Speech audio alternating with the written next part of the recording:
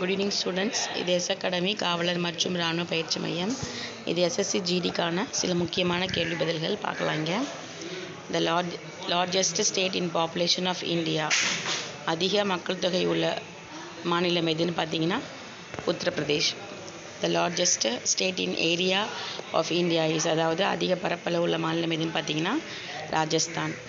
The largest tea producer in India is Assam அதாவது அதிக tea உற்பத்தி பண்ணுற மாநிலம் எதுன்னு பார்த்தீங்கன்னா Assam the largest jute producer in India is West Bengal சணல் உற்பத்தி பண்ணுற மாநிலம் அதிகமாக எது பண்ணுறாங்கன்னு பார்த்தீங்கன்னா West Bengal the largest rice producer in India is West Bengal அதிக அரிசி உற்பத்தி பண்ணுற மாநிலமும் எதுன்னு பார்த்தீங்கன்னா West Bengal the largest coal producer in India is West Bengal நிலக்கரி அதிகமாக உற்பத்தி பண்ணுற மாநிலம் எதுன்னு பார்த்தீங்கன்னா West Bengal the longest river in India is Ganga அது மிக நீளமான நதி எதுன்னு பார்த்தீங்கன்னா இந்தியாவில் கங்கை.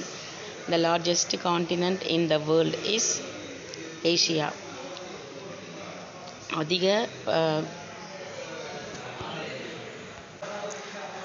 அதிக uh, பெரிய நிலப்பரப்புடைய கண்டம் எதுன்னு பார்த்தீங்கன்னா Asia which is called as island continent அதாவது uh, பனிப்பிரதே பனி பனியுள்ள கண்டம் எதுன்னு பார்த்தீங்கன்னா Australia.